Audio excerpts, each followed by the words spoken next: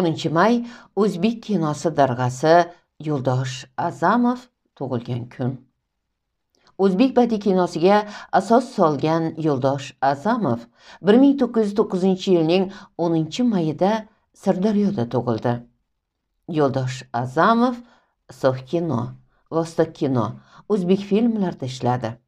Aktyor sifatida rayzmanning yer chanog'i 1930 yil. G'aniyevaning yuksalish bir ming to'qqiz yuz o'ttiz birinchi yil. Filmlardagi qurbongildi va mexanik obrazlarni yaratdi.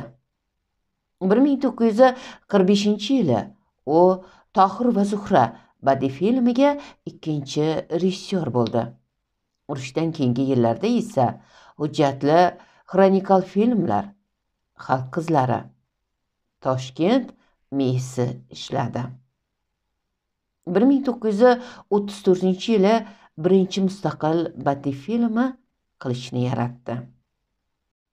Toshkentdagi yosh tomoshabinlar teatrida rejissyor sifatida bir qancha pyesalarni sahnalashtirgan. Azamov kinorejissyor sifatida gulbahor bir ming to'qqiz yuz ellik oltinchi yil maftuningman bir ming to'qqiz yuz ellik sakkizinchi yil furqat bir ming to'qqiz yuz ellik to'qqizinchi yil istiqbol yo'li bir ming to'qqiz yuz oltmish birinchi yil oydin sahifa bir ming to'qqiz yuz oltmish beshinchi yil sayyod qo'ng'irog'i bir ming to'qqiz yuz oltmish oltinchi yil o'tgan kunlar bir ming to'qqiz yuz oltmish to'qqizinchi yil olovli so'qmoqlar bir ming to'qqiz yuz yetmish birinchi yil mehrobdan chayon zulmatni tark etib bir ming to'qqiz yuz yetmish uchinchi yil. Odamlar tashvishida. bir ming to'qqiz yuz yetmish oltinchi yil. Ota nasihati bir ming to'qqiz yuz yetmish to'qqizinchi yil.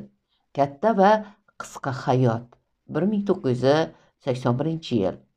Parol dvigena mehmonxonasi. Raysman bilan hamkorlikda bir ming to'qqiz yuz sakson to'rtinchi yil va boshqa filmlarni yaratdi. Azamov ijodida o'zbek xalqining tarixiy va zamonaviy hayoti sahifalarini milliy ruhda ko'rsatishga intilish ko'proq seziladi.